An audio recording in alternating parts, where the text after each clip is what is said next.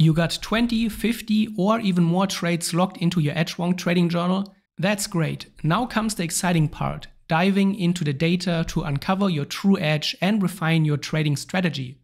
But where should you begin? In this video, we'll guide you through the most powerful analysis tools Edgewonk offers, breaking down how each one reveals insights about your trading habits, strength, and areas for improvement. First, let's try to find your under and overperformers. So those are the parts of your trading that work exceptionally well and things that don't go so well. For that, we can go to our chart lab and we can start by the performance by time. This gives you a breakdown of your trading day. So each hour has an own interval and it shows you how many trades and what your performance is. So for example, in this journal, we can see that before 10 a.m., this trader is underperforming. It could be that before the market opens, the trading system is not very aligned with the market and it's performing much better after the open market volatility is kicking in and then the trader is seeing much better results. You can also look for the weekday so you can see what day of the week you're performing best and here we can see on Saturdays, the system is underperforming. So it could be that this trader is trading cryptos on the weekend and this is not working well for the trader. Looking at the weekdays and the hour of day intervals can tell you a lot about your trading style and when you're performing best. Let's move on to our trade setups. So we go to the performance by setups. And here we see all the trading strategies that the trader has logged in this trading journal. We sort it by the value and now we get a breakdown from the best performing to the worst performing trading strategy. We can see here that three setups and strategies are not performing well and the trader is losing money on three of them. And now the trader has two options. Either he stops trading those completely or he dives deeper into the performance analysis tools in Edgewonk to find out why the systems are not working and how we could turn this around. We can also do the same for the instruments and we find out which instruments and markets are performing well and where he's losing money.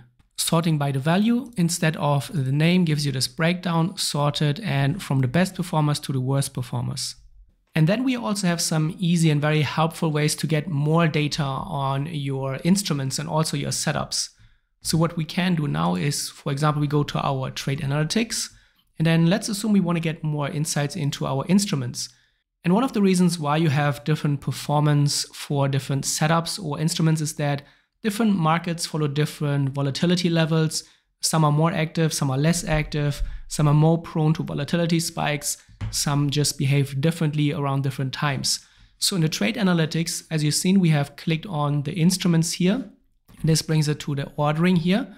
And when we now open this table, we get a very detailed breakdown into our trading instruments. And you can do this for every other part as well. You can do it for the setups, you can do it for your winners and losses, and many other ways. So here what we see is, first of all, how many trades you have taken per instruments, what is your average win rate, what's the average P&L, what's the profit factor, the R multiple, what is the longest winning streak, what is the longest losing streak.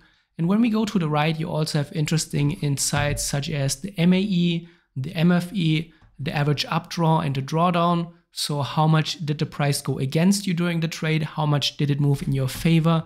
And that is really insightful. You can also leverage our filters for that. So when we open the filters, you'll see that you can filter for pretty much anything in your journal. We have filters for the instrument, the setup. You can even filter for reward to risk ratio levels.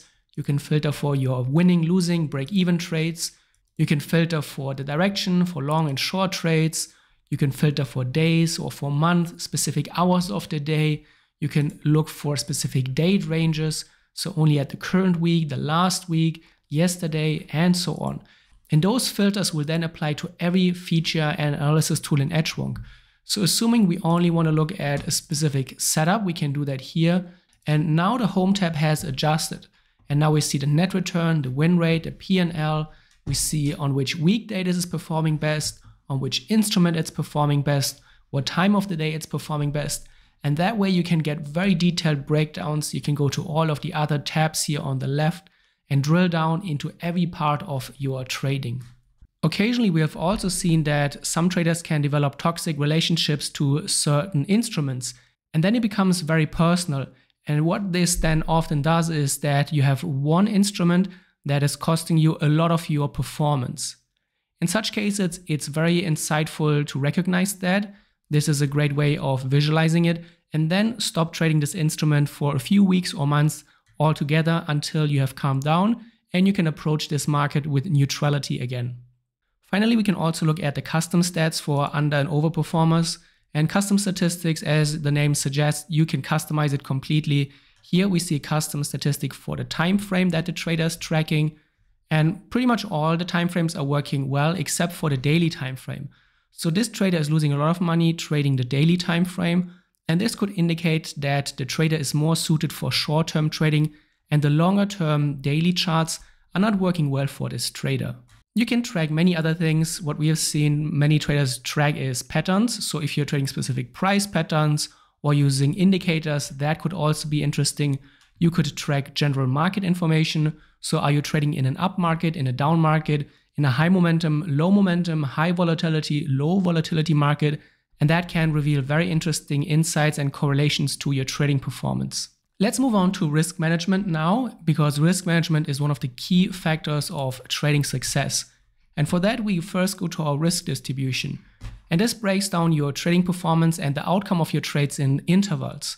And what you typically see is that most of your results will be clustered somewhere in the center. And this suggests that you have a steady and consistent position sizing. However, when you find that you have intervals and bars on the left hand side, it shows that you have outliers, negative outliers. So those are large losses that should not occur and they often point towards some kind of mistake. It could be oversizing, it could be delaying loss taking, or any other mistake that relates to risk management. So here we can see that although most of the losses fall into this area, and we can see the average return on a losing trade is 0.62%, we have one trade where the trader is losing somewhere between 4.75 and 4.5% on a single trade. And at the same time, you can see that the average return on a winning trade is only 0.58%. And he's very consistent with his winning and losing trades in general. But this trade easily wiped out 6 to 8 of his regular winning trades. And this is a big red flag that needs to be addressed. So occasionally looking at your risk distribution is very helpful to see if you are still on track or if you see that bars are popping up here on the left hand side. When we go to our home tab, we also have interesting insights here about the average P&L. So the average trade value, we can see the average winning trade is 190 US dollar and the average losing trade is minus 200. So the average losing trade is slightly larger than the average winning trade. However, with a high win rate here above 50%, this trader is still ending up with a profit. However, if you see that your average P&L is getting smaller and smaller, this should be addressed because it can show you that your losses are too big and that your winners are too small. And this can often mean that traders are cutting their winners short. I will show you in a moment how we can address that as well. Another very helpful feature is our performance reports. So we go to reports and then open the monthly reports. And here you get a breakdown of your performance month by month. You can also open this here and then you get a performance breakdown on a weekly basis. And the arrows indicate your progress over time. So if the arrow is going down, it shows you that from this prior week to this week, the return is getting worse. The return has gotten worse. The win rate here has gotten worse. The average P&L has gotten worse. The R multiple, interestingly enough, has gotten up. So you can see the arrows pointing up. And this is a very good way of just following your progress and your performance month after month. So checking your reports occasionally can help you see where you are and how your trading is evolving. Of course, when it comes to performance analysis, we also have to check our mistakes and we have to see if we are making mistakes or if we are generally following our trading plan. Because making mistakes and errors can introduce a lot of noise into our performance data. And also at the same time, looking beyond the noise and beyond the mistakes can help us find our true edge. And for that, we can open our chart lab and then we go to our trade comments. And here we see our trade entry comments. So in EdgeWonk, you can rank every entry, every exit, and every trade management decision that you're making. And then you get this breakdown here. And you can very nicely see that a perfect entry gives you the best performance, whereas if you're taking entries that are too late, which are 11 trades here, you're losing money. Same with impulsive entries, entries that you've taken too early, or revenge trading. And this can often be an aha moment and a huge eye opener once traders can see that they actually have an edge, they just have to follow their trading plan. And when they start following their trading plan, they are making money. And this can then often be the beginning for traders to trade with more disciplines. Once they see that I need to trust my system because when I trust my system, I am making money. Another great way of visualizing this is our efficiency. So on the chart lab, we have this efficiency graph and efficiency just shows you how well do you follow your trading rules. The higher the efficiency, the better you're following your trading plan. The lower the efficiency, the more mistakes you are making. Here we can see there was a peak of 65% efficiency. The efficiency then dropped to 53 and now we are back at 57. So here was a period where the efficiency was going lower, which then means the trader is making more mistakes. And recently the efficiency is going up, which means that the trader is making better trading decisions and following his trading plan more closely. When we go to the journal, we also have our tilt meter here, which is a very popular feature. And the tilt meter visualizes your trading discipline on each trade. The more green the tilt meter, the more you followed your trading plan. A red tilt meter means that you have broken your trading rules on this trade. So when we open this trade, we go to the advanced trade data, and you can see that the entry was rated too late, the trader managed the trade well, and the exit was too late.